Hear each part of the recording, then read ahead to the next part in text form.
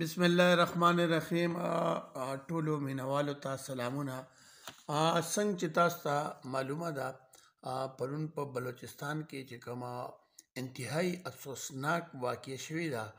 نو په هغه کې فرزند سوابي فرزند ټوپي کیپټن فهد شهید چې کوم دی نو هغه پکې شهادت موتی او او دا هغه جستی خاکې چې کوم دی نو نن جي ایچ کو راوړپنډۍ ته راړله او هلته کې چې کوم دی په جي ایچ کو راوړپنډۍ کې د هغه جنازه وشوه په هغې کې د پاکستان آرمي افسرانو د علاقې سیاسي او سماجي شخصیاتو د هغوی رشته دارو شر شرکت وکړ او هلته په پرنډۍ کې خاورو ته وسپاره یقینا چې کیپټن فهد شهید چې کوم دی هغه یو ډیر لوی اعزاز حاصل کړ شهادت یو ډیره غټه رتبه ده او شهید ته خو ډایرکټ چې کوم دی نو جنت خوشخبري حواله شوي چې هغه به جنت ته ځي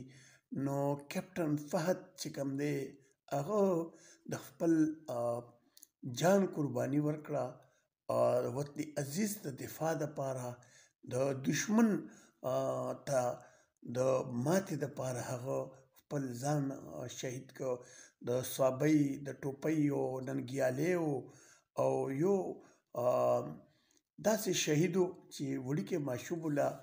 واده هم نو کړی د دې دنیا نه ارماني لړ خو بهرحال شهادت په قسمت کې هو الله تعالی ولا په کم عمر کې شهادت ورکو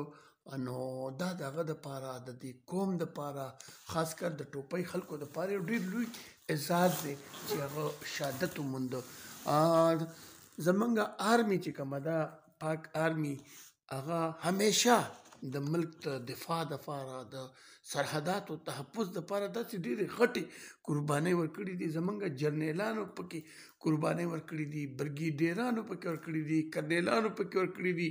پولیس سپایانو پکې کنسټیبلانو پکې ورکړي دي دا زمونږ د پاکستان د فوج یو وتیره ده چې هغه یې همیشه